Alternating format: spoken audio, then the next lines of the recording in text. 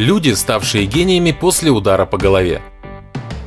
Еще одна удивительная загадка человеческого мозга. Все эти люди получили мозговую травму и внезапно обнаружили, что умеют говорить на иностранном языке, играть на музыкальном инструменте или жонглировать числами.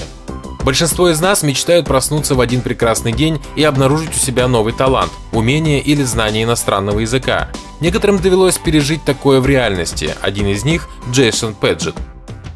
Джейсон Педжет – математика и физика. Не доучившись в средней школе, Джейсон работал в мебельном магазине своего отца, а ночами пропадал на вечеринках. Пока в один прекрасный день его не ударили по голове, и 31-летний молодой человек внезапно стал гением в физике и математике. У Джейсона диагностировали синдром Саванта – савантизм, при котором мозговые травмы могут внезапно подарить пострадавшему неожиданные таланты в математике, изобразительном искусстве или в музыке. 43-летний Пэджет – один из немногих людей в мире, способных от руки рисовать фракталы, самоподобные геометрические фигуры с громадным количеством повторяющихся звеньев, на создание одного фрактала Джейсону требуются недели, а то и месяцы. Орландо Сорел. Календарные вычисления. Играя в бейсбол, десятилетний Орландо Сорел был сбит с ног ударом мячика по голове. Мальчик не рассказал об этом родителям, и врачи его не осмотрели.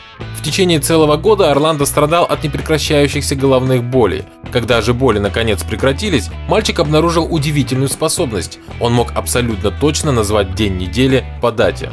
Вообще любые вычисления, связанные с календарем, СРЛ выполняет в мгновение ока. Он моментально может назвать количество дней между любыми двумя датами, или же, например, сколько раз в течение тысячи лет 12 марта выпадало на четверг.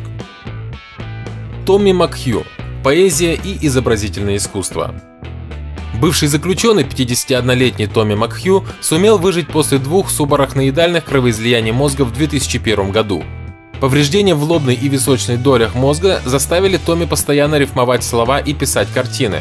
Когда закончились холсты, Макхью начал расписывать стены своего дома. «Я чувствую в себе какую-то женственность. Моя голова теперь полна риф, картин и различных образов», — говорит Томми Макхью. Бен Макмахон. Китайский язык. Когда Бен Макмахон попал в кому после автомобильной аварии, его родители опасались, что он может из нее никогда не выйти. Однако уже через неделю австралийский студент пришел в себя и заговорил на китайском, точнее на его северно-китайском диалекте – мандарин. Все как в тумане, помню только, что когда я проснулся и увидел медсестру-китаянку, то сразу подумал, что нахожусь в Китае. Будто во сне я вдруг заговорил по-китайски, говорит Бен Макмахон. До этого Бен проходил базовый курс китайского в школе, но не закончил его. В конце концов, ему вновь удалось вспомнить английские слова, но неожиданные способности к китайскому не исчезли. В настоящее время Бен работает гидом по Австралии для китайских туристов и ведет телепередачу на китайском для иммигрантов. Дэниел Тэммет, математика. Испытав в три года эпилептический припадок, Дэниел Тэммет помешался на числах. В школе он выиграл призы по математике, однако его необычные способности были обнаружены лишь в 25 лет.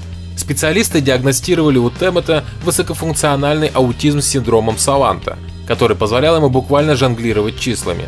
Так, например, он правильно назвал 22 514 цифр в числе π в течение 5 часов и 9 минут. Он также разговаривает на 10 языках, включая исландский, который Дэниел выучил на спор в течение недели. Процесс вычисления в уме 35-летний Дэниел описывает следующим образом. Когда я перемножаю два числа, то вижу их в форме двух картинок. Затем образ начинает изменяться и развиваться, и внезапно появляется третье. Это и есть ответ. Я вычисляю, практически не думая об этом, лишь представляя в уме картинки.